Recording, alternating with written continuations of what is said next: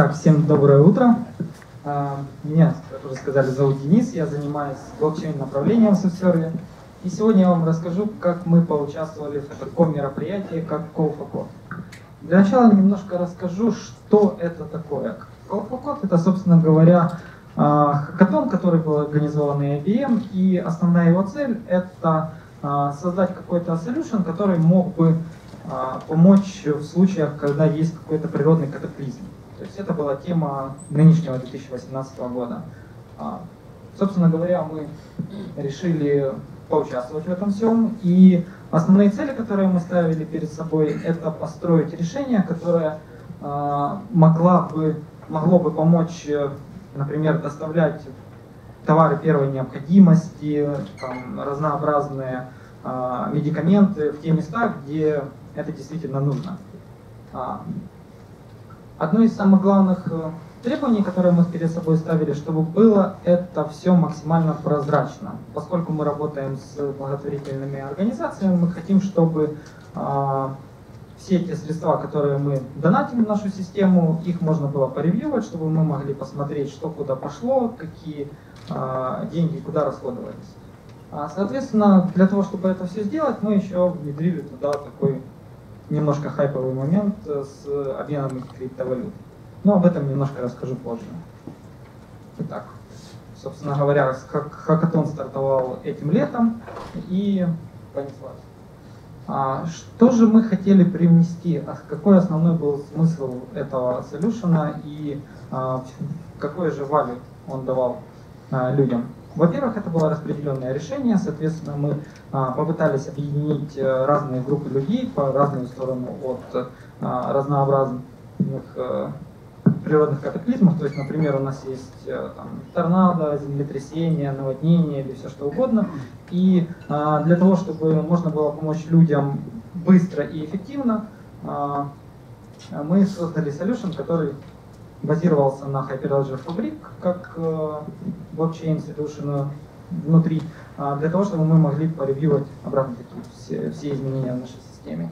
А, для того, чтобы заводить деньги, естественно, у нас был криптообменник, то есть мы могли заводить там, например, биткоин, эфир, все что угодно, потом это все конвертируется обратно в фиатную валюту. Почему? Потому что там многие онлайн-магазины до сих пор не работают с криптовалютами. Соответственно, просто так там, задонатить эфиры, думать, что все будет хорошо, оно так работать не будет. Соответственно, нужно тоже вводить такой элемент, как обменник. А, и самое, наверное, интересное, мы решили, что а, просто так доставить э, помощь в место, а, где это нужно людям, будет неинтересно, поэтому мы решили это делать с помощью дронов. Но в действительности для этого есть один очень большой Ризон, почему мы так сделали, в действительности после разнообразных природных катаклизмов э, в основном разрушается инфраструктура. То есть, например, у нас нет возможности взять и а, просто так доставить к месту события. Например, у нас а, завалены дороги, у нас вообще все разрушено. Соответственно, не всегда есть возможность напрямую подойти там, передать человеку то, что он хочет. А, для этого мы решили, что мы будем все это делать с помощью дронов. Обратно таки, например, мы взяли какую-то там совсем простой пакунок, назовем его так, да, а, положили туда там, предметы первой необходимости, медикаменты и все прочее, и после, после чего подъехали максимально близко к месту происшествия, после чего запустили наш, наш дрон. Так это все должно выглядеть э, на бумаге, да, а как в действительности узнаем чуть-чуть попозже. Ну и обратно такие, все эти операции относительно там, доната, доставки, ввода, вывода денег, логирования того, что там происходит внутри системы, оно а, отображается в блокчейне, соответственно, потом мы это все можем порегулировать публично, никто это не сможет изменить, что, собственно говоря, есть очень большим плюсом для а, такой публичной платформы, да, которая работает с благотворительностью. Итак, э, а в чем же, собственно говоря, проблема? Почему IBM решил выбрать э, для хакатона 2018 года именно такую тематику? А, основная причина это то, что последние там, 10, 20, 30, 40 лет численность населения растет очень большими темпами, соответственно, тот ущерб, который наносится а, разнообразными природными катаклизмами, он с каждым годом становится все больше и больше. Соответственно, больше разрушений, больше ущерба, больше социального влияния. Соответственно, для того, чтобы как-то с этим всем справляться, была предложена именно такая идея. Ну, и еще одним из основных вопросов, например, для тех же штатов, то, что э, несмотря на то, что есть э, хорошая возможность для того, чтобы после какого-либо катаклизма восстанавливать инфраструктуру, но все равно убытки остаются очень большими ввиду того, что, э, например, та же страховка, она не всегда и не все покрывает. Соответственно, даже там всякие, всякая частная собственность, она не всегда имеет правильный полис, и, соответственно, а, восстановить все это практически невозможно. Итак, наше решение называется A-Chain. Сейчас вот я немножечко расскажу более детально о том, что мы предложили и как это будет работать. Но для начала мы сфокусировались на одной более конкретной проблеме. Мы решили, что скажем так, митигейтить абсолютно все природные катаклизмы практически нереально. Раз, раз. О, так гораздо лучше, думаю, да? Итак, мы решили сфокусироваться на одном а, конкретном катаклизме, это торнадо. А, для того, чтобы понимать вообще весь объем того, что происходит, а, вот статистика за 2017 год по штатам. То есть, как мы видим, а, произошло 165 торнадо, и все, все, вся вот эта вот штука затронула практически 300 городов. Соответственно, из э, этих 300 городов мы получили там в районе 500 человек, которые были ранены, и более 30 смертей. То есть в действительности это очень большой ущерб, да, нанесенный как э, людям, так и, собственно говоря, их имуществу. Давайте вот рассмотрим на конкретном примере а, на примере 22 января одной из торнадо. Как мы видим, в действительности торнадо она распространяется практически по прямой линии. Соответственно, все, что находится в рамках, в рамках этой линии, практически всегда разрушено. То есть там будут разрушены дороги, там будет, будет разрушена вся инфраструктура. Понятное дело, что там будут разрушены дома, поскольку они практически всегда строятся из картона и всего прочего. Соответственно, все летает очень хорошо. И, э, соответственно, подъехать туда иногда невозможно. С учетом того, что в основном всегда под домами есть бункера, в которых прячутся люди, то вокруг все будет, э, скажем так, э, забито хламом, и подступиться туда будет очень-очень сложно. А, вот из этого именно торнадо мы видим, что только одно это торнадо нанесло более чем 300 310 миллионов ущерба. То есть вроде бы оно там еще и не самое было большое по а, шкале их не там торнадо, но тем не менее. Итак, что же мы предлагаем? То есть, как я говорил а, ранее, мы размещаем определенные склады на территории там, того государства, где все это будет происходить и где мы хотим бороться с э, определенным родом катаклизм. И э, основной смысл в том, что э, люди, которые находятся в эпицентре события, да, или же, например, волонтеры, которые знают, что в том месте люди нуждаются в помощи, они создают запрос внутри нашей системы, какой-то из фондов или благотворительных организаций этот э, запрос опробует, после чего мы выполняем доставку. То есть максимально близко подъезжаем машиной, куда мы можем, естественно, и затем уже запускаем дроны для того, чтобы это все добро доставить в нужное место. Итак, какие же основные use cases в этой системе мы определили, которые будут использоваться там, в 99% случаев? Первый кейс, это понятное дело, что мы в нашей системе должны создать запрос, чтобы там нам, например, что-то нужно, там, предметы первой необходимости, медикаменты, возможно, какие-то там минимальные гаджеты, там, не знаю, батарейки, там, фонарики, все, все что угодно, все, что может э, понадобиться для того, чтобы там разгребсти завалы или просто даже банально выжить э, в ситуациях, когда вокруг разрушена практически вся инфраструктура. А, второй кейс, который очень важный, он связан с ограничением самого дрона. То есть э, мы же не можем там запустить сколько угодно э, дронов с, там, я не знаю, 10 килограмм, 20 килограмм, 30 килограмм. То есть, то есть у нас есть ограничения по весу, которые мы можем э, доставлять. Соответственно, мы должны весь тот список, который, например, нам создал человек, мы его должны разделить на какие-то определенные корзины и уже там эти корзины доставить столько раз, сколько он, какой у нас capacity этого списка. А, для того, чтобы обеспечивать возможность складам закупать товары, естественно, нам нужны донаты. Соответственно, это все делается с помощью обменника. У нас есть э, модуль Exchange, мы можем донатить, э, используя там, разнообразные криптовалюты, и уже они будут переводиться в фиатные тогда, когда мы будем реально осуществлять закупку. А, все, все эти действия, которые есть в системе, они, естественно, логируются. Они записываются на блокчейне, они чейнятся, то есть у нас а, от момента создания нашего запроса до того, как мы реально доставили нашу посылку, все эти действия можно будет оттрекать, мы все это можем посмотреть. Для чего это нужно? Для того, чтобы в конечном итоге провести аудит. То есть все предельно просто. Мы в конце, если думаем, что, например, наши средства потратились куда-то не туда, мы спокойненько себе зашли, посмотрели, посмотрели по таймстампам, что где когда произошло, и таким вот образом обеспечивается практически полная прозрачность э, всего этого процесса. Итак, более детально по доставке давайте поговорим.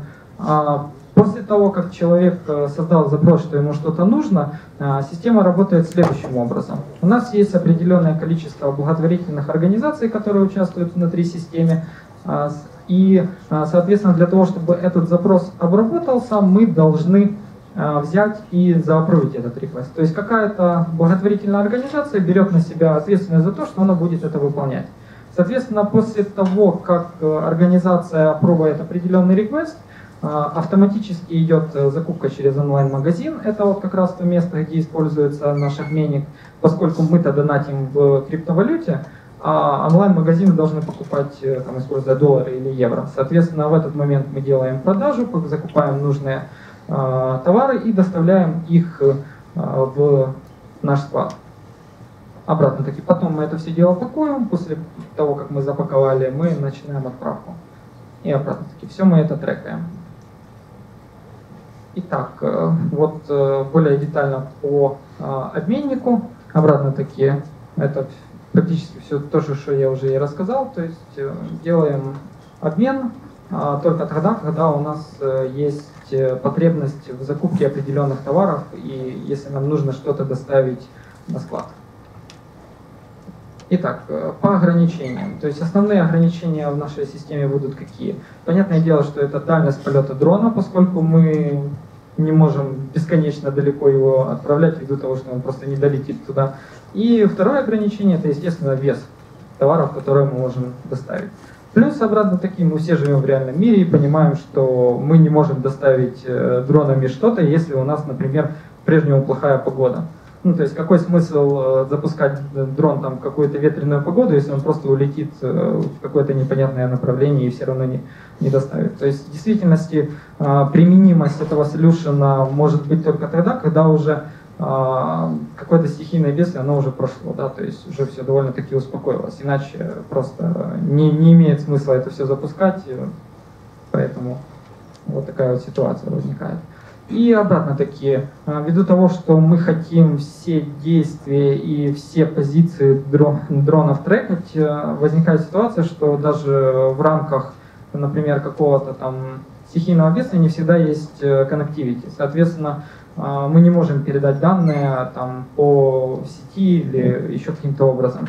А, чтобы это как-то сгладить, мы еще придумали, чтобы дроны между собой тоже обменивались данными, поскольку а, если у нас есть какая-то ситуация, то, естественно, у нас э, будет э, в этой области не один дрон летать, да, то есть у нас в разные точки будут доставляться определенные посылки. Соответственно, если какой-то дрон, например, в какой-то момент э, упал там или зацепился, или его, там, не знаю, кто-нибудь э, забрал себе и захотел с ним убежать, то этот момент мы тоже записываем и по телеметрии мы потом это все можем проверить.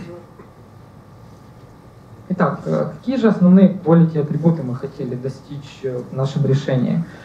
Первое, это, наверное, самое главное, это стойкость в те моменты, когда у нас собственно говоря, что-то произошло. То есть мы хотели объединить разнообразных пользователей по разные стороны от, а, от этого события для того, чтобы уменьшить ущерб, который наносится публичной инфраструктуре, и в том числе помочь а, людям выбраться из ситуации.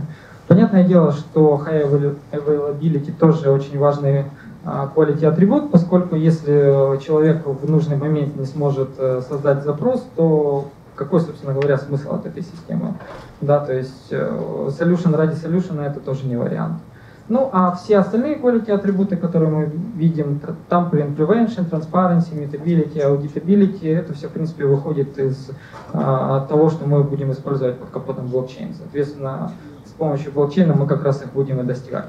А mobility означает в принципе, то, что мы можем это все будем делать с мобильных девайсов, то есть, э, чтобы это все было удобно. А, итак, какие же основные сценарии тоже есть в этой системе? А, понятное дело, что доноры должны в 100% случаев э, знать о результате и успешности прохождения их транзакций, то есть э, у нас не должно быть такое, что где-то зависли деньги, что у нас не произошел обмен, что обмен произошел, а деньги не зачислились. То есть э, это все действительно все очень важно. И чем, например, страдали изначально всякие воллеты, которые работали с биткоинами, то, что они в действительности вообще не работали. То есть еще там в 2010-2012 годах, когда выпускался новый воллет, еще в течение первого там, полугода-года а, пользоваться им это было так, такой себе лотереей. То есть транзакция могла пройти, могла не пройти, могла пройти как-то странно. То есть это все в действительности зависело не от самого протокола биткоина, это все зависело от, э, скажем так, э, прямизны э, рук девелопера, который разрабатывал этот кошелек. Соответственно, для нас было очень важно достичь именно качества в обмене.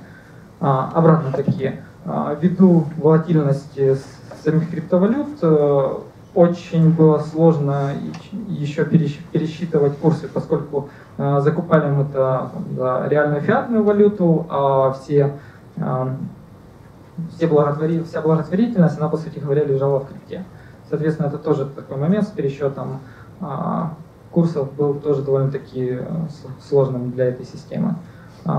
Что мы еще для себя поставили? Мы поставили, что в 99,95% все люди должны иметь возможность получить э, данные, которые есть у нас в системе для того, чтобы провести аудит.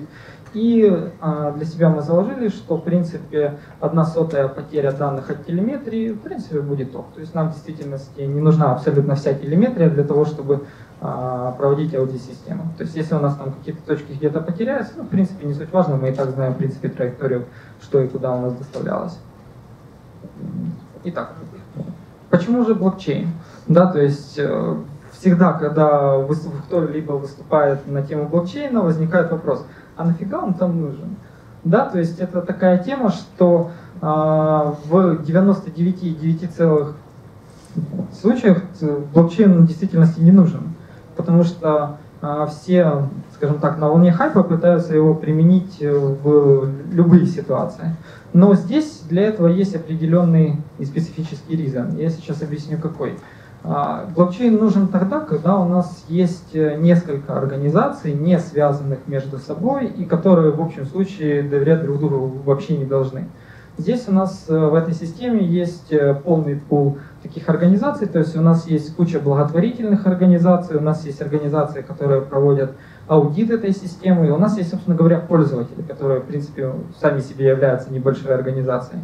Соответственно, основной вопрос, когда мы жертвуем что-либо на благотворительность, это как расходуются эти средства. Да? То есть э, э, в текущей имплементации э, нет, нет такой публичности в расходе средств. То есть мы видим, что деньги куда-то ушли, они как-то расходовались, э, но в действительности вычитывать абсолютно все репорты, те, которые делают эти организации, это практически нереально. И отследить именно момент, куда именно были они потрачены, тоже нереально.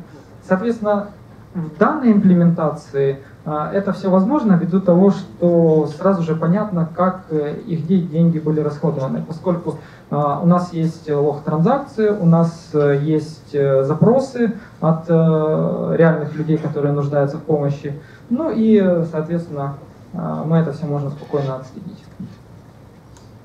Итак, что же мы в итоге сделали? Как я уже сказал, у нас блокчейн ядро было написано на Hyperledger Fabric, то есть это в действительности логично, если у нас есть э, хакатон от IBM, Hyperledger Fabric — это э, фреймворк, который написал IBM, то естественно, логично использовать его для скажем так, э, построения своего солюшена. Ну и э, одним из условий хакатона это было использовать IBM Cloud. Соответственно, кроме Hyperledger фабрика там нативно ничего не поддерживалось. То есть тоже как бы один из основных моментов. А, сами же дроны тоже у нас были оборудованы с а, Wi-Fi и 4G для того, чтобы можно было передавать телеметрию. Об этом тоже потом немножко расскажу более детально. Про криптомодули я уже рассказал. Ну и а, основной смысл это то, что нам не нужен был какой-то супер-пупер performance от этой системы, да, то есть нам основ, основная цель, которая должна была быть достигнута, это как раз аудит. Соответственно, нам не нужен практически там никакой real-time в э, выборке наших данных, главное, чтобы они там были. Итак, вот примерно так выглядит э, на high-level е архитектура этого великолепного солюшена. То есть из э, того, что мы видим, то, что я уже сказал, у нас э, основные пользователи это у нас эйдсикеры, такие люди, собственно говоря, которые создают запросы на помощь. У нас есть разнообразные благотворительные организации и доноры с помощью своих кошельков заводят деньги в нашу систему. Есть, соответственно, процессор, который переводит крипту фиатную, когда это нужно, обратно таки записывается это все а, внутри нашего распределенного леджера, то есть вот этот вот квадратик с надписью консенсус, это означает, что все э, ивенты, которые туда попадают, они будут залогированы. То есть э, после того, как мы перевели деньги, у нас есть инвентарь, то есть наш склад, обратно таки он запускает доставку, и все вот это вот очень весело и интересно работает. Итак, еще раз более детально расскажу, какие у нас есть Участники внутри этой сети это, собственно говоря, доноры. Понятное дело, что они делают. Эйсикеры — это люди, которые а, нуждаются в помощи. А, фонды и организации тоже, в принципе, понятно. Дроны понятно. Склады я о них тоже уже рассказал. Ну и для того, чтобы а, все это дело могло быть выполнено автоматически, у нас есть э, Exchange процессор, который, собственно говоря, является отдельной ролью внутри нашего леджера для того, чтобы тоже иметь возможность логировать все эти э, ивенты. Соответственно, моделька была в действительности совсем простой. То есть для того, чтобы поддерживать вот эту вот всю кучу флоу, в действительности было создано всего лишь три сущности. Первая сущность это продукт, который нам нужно было доставить. Вторая сущность это а, корзина, когда мы разделяли нашу покупку на корзины для того, чтобы доставлять дронами. Ну и последнее, это, собственно говоря, запрос, да, то есть там хранилась информация относительно э, всего контекста, который был использован, использованный для саппорта вот этого всего флоу. Итак, э, обратно таки, исходя из этого, у нас э, было определенное количество транзакций, которые мы могли проводить э, внутри нашей системы. А, обратно такие все изменения, они бродкастились всем участникам сети, соответственно, кто угодно мог подписаться и а, увидеть, какие были изменения. Итак, какие же мы сервисы использовали? Для того, чтобы это все сопортить, а, мы использовали Cloud для того, чтобы хранить данные от телеметрии.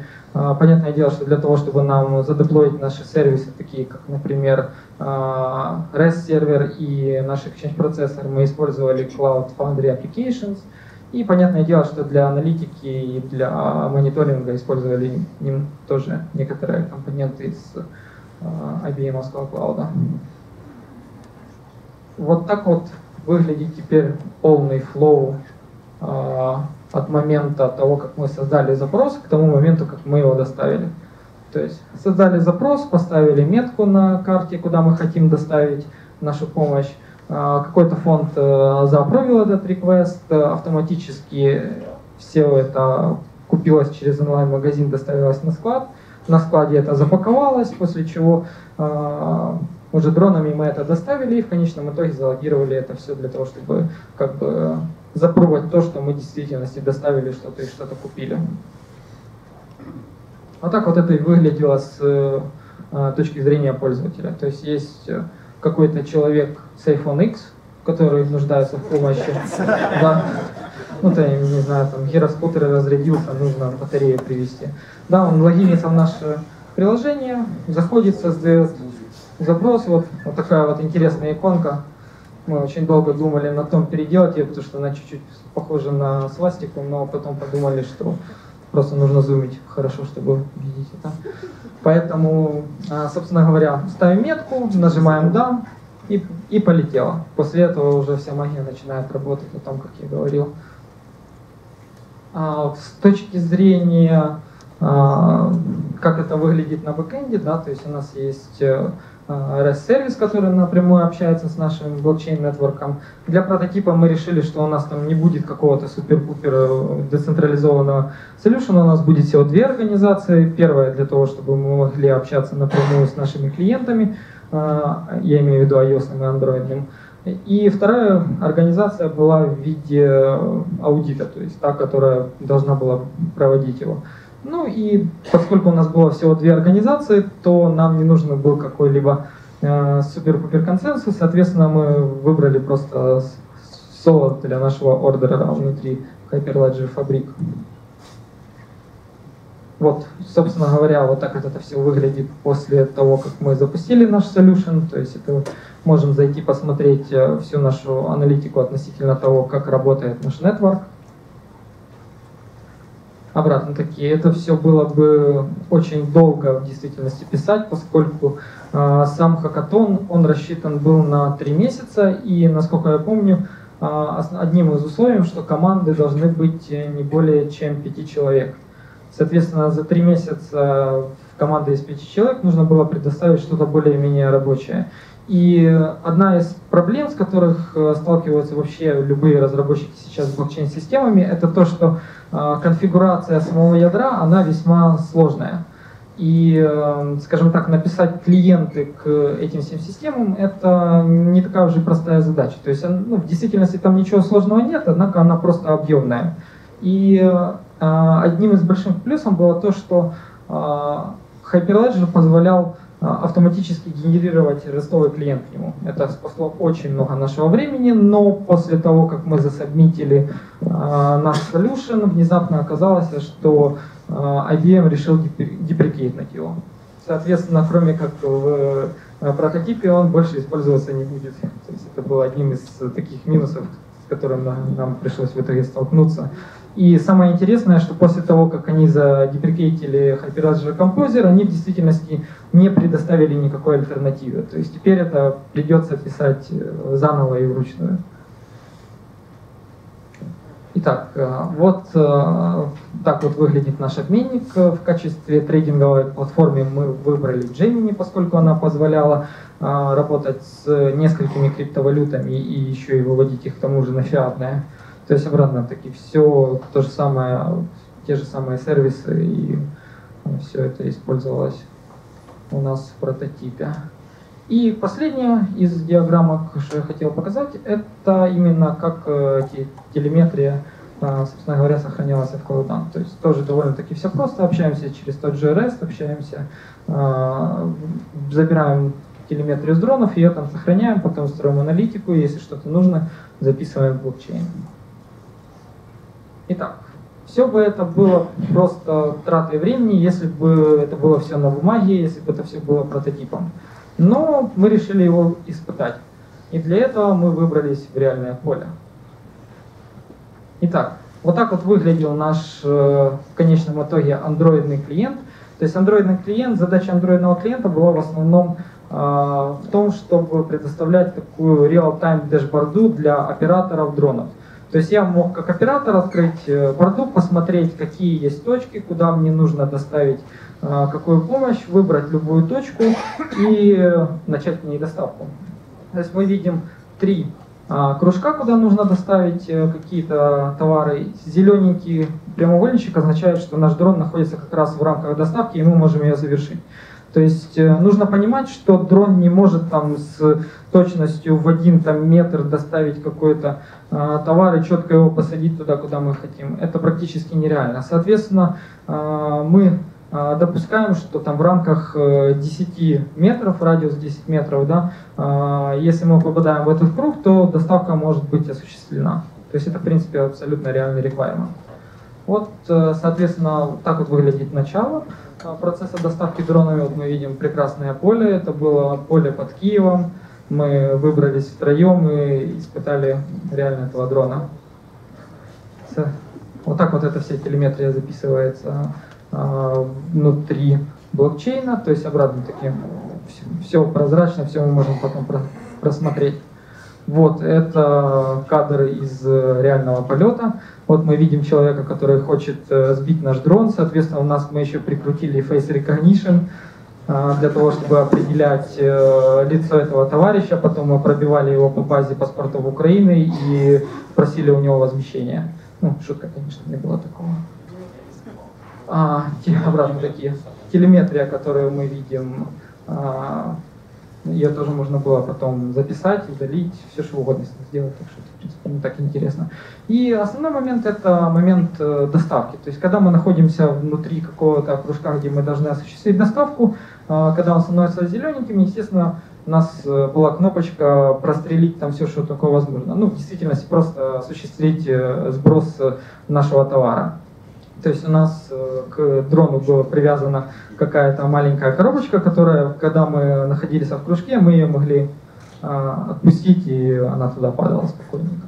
И одним из требований, которые мы хотели сделать, это чтобы в процессе доставки была сделана фотография того места, куда оно было доставлено. То есть потом мы могли провести аудит и посмотреть, что да, действительно вот, вот там вот оно есть. Соответственно, вот так вот выглядит фотография с места доставки. Ну, просто дрон упал в траву, поэтому там ничего особо не увидишь. Так, обратно таки записали это все дело в блокчейн. И после того, как э, э, оператор э, подтвердил то, что доставка осуществлена, у нас наши дэшборды, этот э, кружочек исчезает. Соответственно, что под капотом при этом происходит?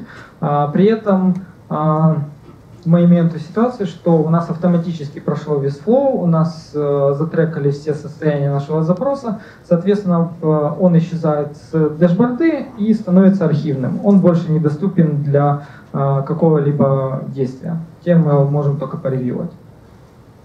Соответственно, в конце всего этого действия мы еще, у нас есть дэшборда, где мы можем посмотреть э, все доставленные и недоставленные э, наши посылки. То есть вот мы как видим, у нас есть две доставленные, одна недоставленная, есть наша начальная позиция.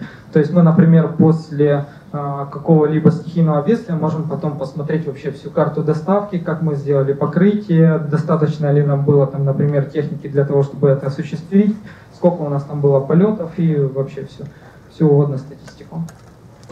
Итак, а теперь же возвращаемся к вопросу, ну, раз такой супер-пупер solution, раз мы даже там реально там что-то доставили в поле, а кто же выиграл?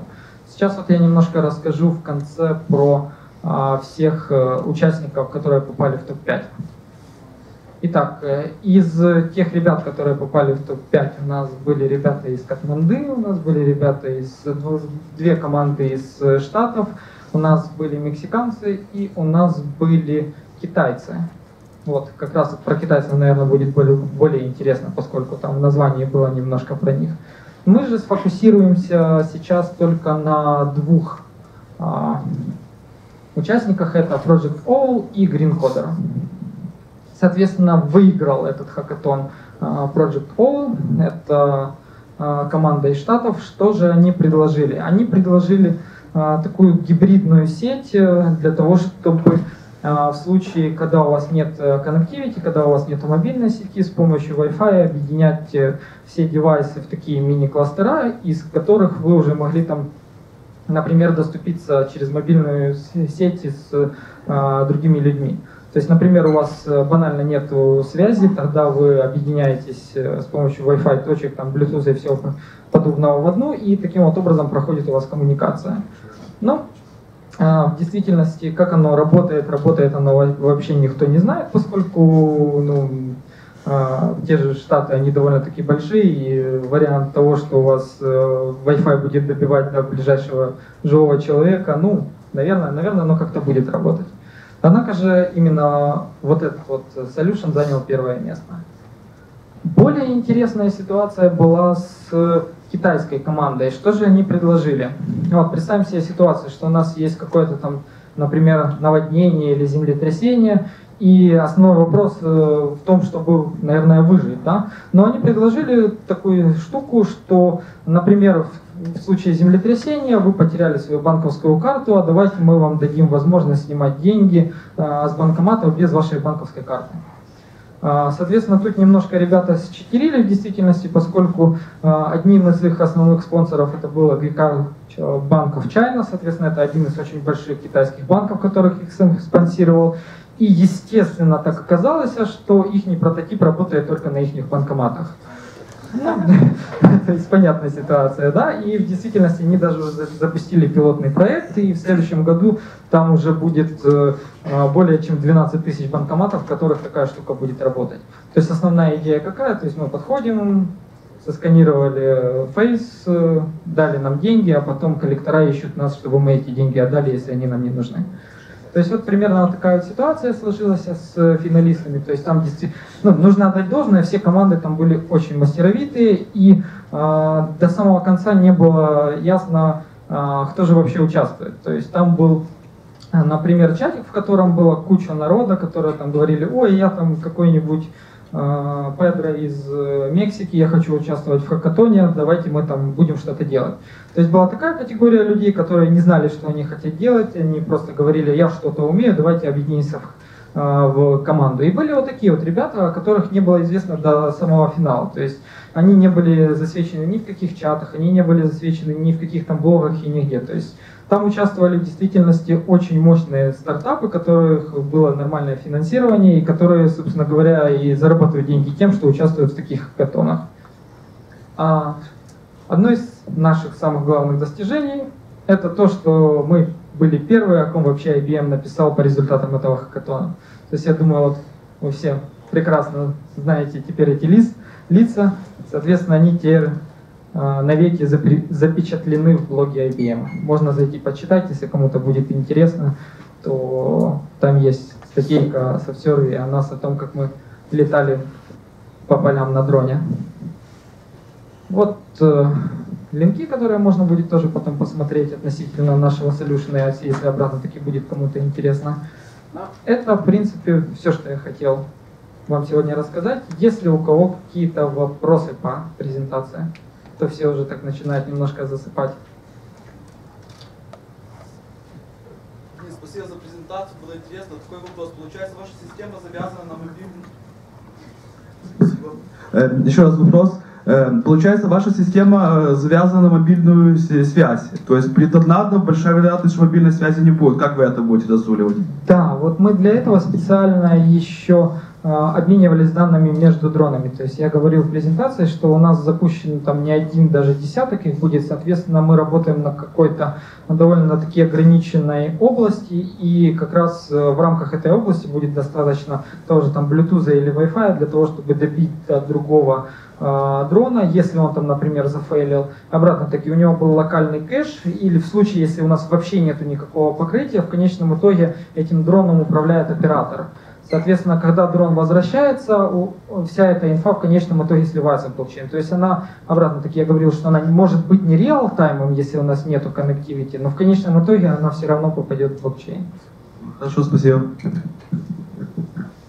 Да, Також дякую за презентацію. Моє питання по криптовалюті. Тобто, я так розумію, що це додало якусь додаткову комплексність до системи, але чи робили ви перед тим якесь дослідження, що це буде оправдано? Що це не просто там, типу, модно молодежно, типу, що реально хтось буде тим користуватися? Ну, в действительности основным консерном был а, то, что сейчас э, очень популярно так, анонимно переводить деньги, да, то есть в действительности основная цель стояла в том, чтобы не заставлять человека заполнять какие-то э, документы и подтверждать свою identity, да, то есть он мог просто прийти и задонатить, то есть нас в действительности не, не интересовал источник этих денег, если они попадают к нам в систему, мы только их аудируем.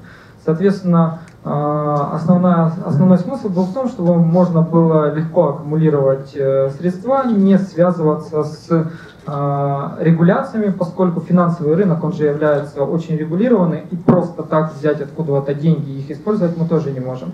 Соответственно, с э, криптой это было чуть-чуть легче, чтобы ее увязать в какое-то правовое пространство в конечном итоге. То есть обратно такие. У нас была завязка на трейдинговую платформу, которая имела право переводить из крипты в фиат, и уже фиат мы использовали для того, чтобы это все дело покупать. Ясно, дякую.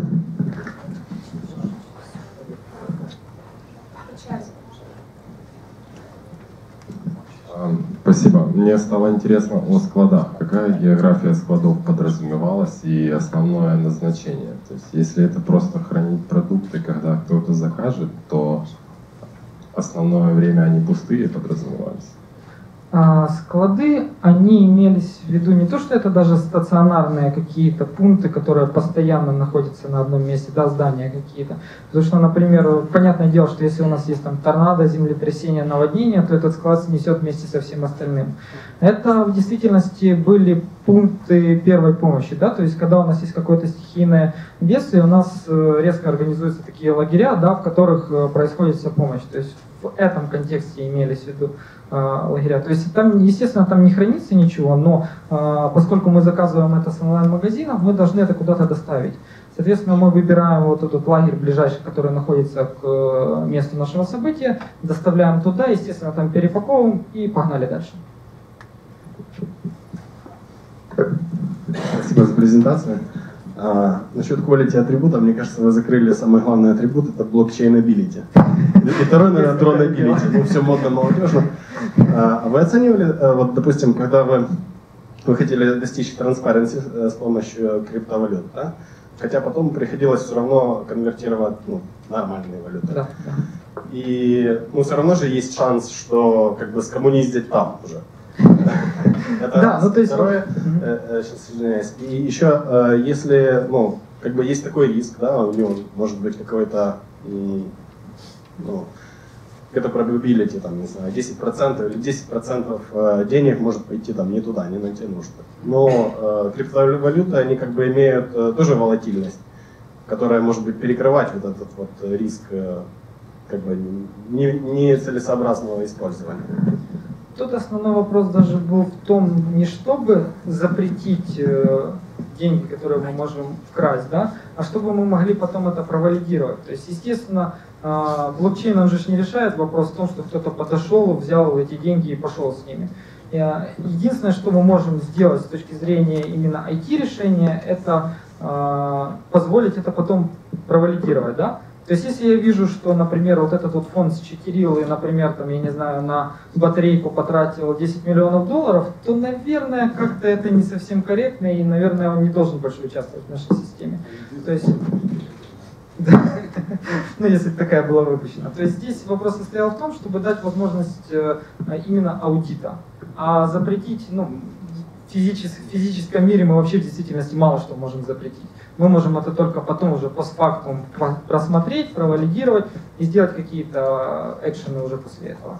Ну, вот, вот и так вот. Да. А, Спасибо, Денис, очень за интересную презентацию. И у меня более такой приземленный вопрос. А, Думали ли вы над какими-то security тактиками, когда имплементировали свой REST-сервис, э, REST-сервер, например, как DDoS-атаки вы могли бы хендлить? Ну, честно говоря, если сейчас э, будет такая атака, то все ляжет, поскольку в рамках прототипа мы использовали только стандартные решения, которые э, предоставлялись Hyperledger фабрики, и обратно такие э, сервер, который мы использовали, он, скажем так, э, не сильно секьюрный на данный момент, то есть, соответственно, это было бы следующим этапом. Но в рамках э, хакатона и прототипа думать сильно о security, если честно, мы не хотели, поскольку это было бы слишком большой эфорт, и мы бы, наверное, бы не выкатили именно тот э, минимальный функционал для того, чтобы вообще покрыть весь флоу, который у нас есть в системе. Соответственно, да, мы на это чуть-чуть так закрыли глаза. Спасибо.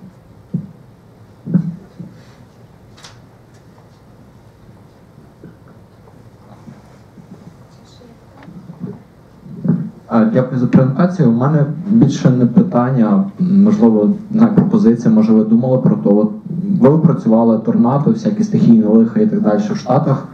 А якщо попробувати цей солюшн продати державі? Да, вот это вот очень хороший вопрос в том, что а, применимость этого решения, оно не ограничивается только стихийными бедствиями. Это вообще может быть отличной платформой для а, волонтеров, да, то есть если кому-то где-то нужна помощь, и в действительности оттуда даже в тот момент можно выкинуть доставками дронами, поскольку она не сильно релевантная, но в том плане, что оставить именно сам факт доставки и сам факт того, что мы это можем потом посмотреть, как оно все распределилось. То в этом плане, да, конечно, мы думали о том, чтобы это все продолжать, но пока есть э, каких-то дальнейших действий относительно того, как мы это будем развивать, пока еще не определились. Просто підіть до міністрів, скажіть, от вам солюшн, дайте гроші. Ну, это уже вопрос. Ну зараз просто такі зараз такі кейси дуже активно беруться. Ну я знаю там багато випадків, де люди от пропонували якісь рішення для волонтерів, для військових дій і так далі. І відповідно, ну ви можете непогано продовжити цей солюшн в рамках.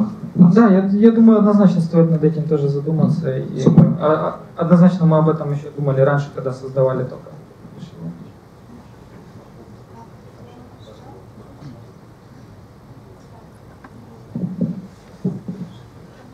Денис, дуже дякую, дуже класно, якби хайпово стільно модно молодіжно, та? А, блокчейн і IBM Watson, ну супер. А, та у мене питання по privacy. Тобто, ну, в Штатах дуже з цим жорстко, та, і оцей публічний аудит, допустим, що ви пропонуєте, та, це будь-хто може подивитися, що, скажімо, я замовляв зняти мої координати. А якщо взяти, наприклад, використання от в наших військових силах, та, допустимо, е, потенційний противник може знайти наші точки по карті, та, і задати якийсь удар. Дякую. Так. Там был интересный момент в том, что у нас э, была специальная роль внутри блокчейна, которая называлась комитет, которая выполняла роль аудитора. То есть, соответственно, э, у нас была возможность сделать ее как полностью публичной, да, то есть все все видят и всем хорошо, так и закрыть его специально только для аудитора, который уже мог эту информацию открывать по собственному усмотрению. То есть основная идея была в том, что у нас есть э, а, ну, организации благотворительные, но у нас и при этом есть э, там один или несколько центральных э, организаций, которые выполняют только роль аудита и которые не участвуют в обмене. Соответственно, в рамках даже самого фреймворка мы могли настроить access rights так, чтобы эти данные видели только определенные участники сети. То есть это все строится, очень легко настраивается. Денис, спасибо большое за презентацию. А, такой вопрос от меня. Задумались ли вы о автоматической маршрутизации этих дронов? Если я правильно понял, каждым из них сейчас управляет оператор, предположительно, правильно? Но поскольку их ожидается большое количество, во-первых, и поскольку возможны проблемы с connectivity, во-вторых, была ли такая версия, чтобы планировать операцию наперед, либо даже маршрутизировать дроны автоматически? Да, то есть э, мы даже, насколько я помню, у нас дрон позволял выбрать э, точку на карте, чтобы он туда долетел автоматически. То есть это даже уже э, вопрос в том, какую модель дрона купить, да, и какой API он поддерживает. Но вот самому разрабатывать с нуля какое-то решение для автоматизации полета мы, наверное, бы не делали бы.